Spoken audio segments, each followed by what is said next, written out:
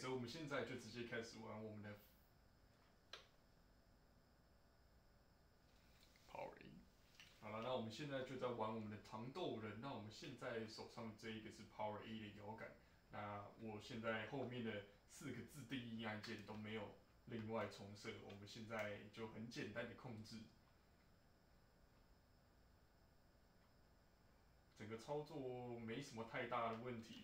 那个我左边这一只摇杆，我把它控制成用成左左边这一只摇杆，我把它用成一个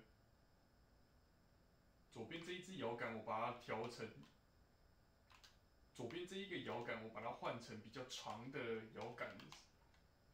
左边这一个摇杆，我把它换成一个比较长的摇杆，那控制起来轻松非常非常多。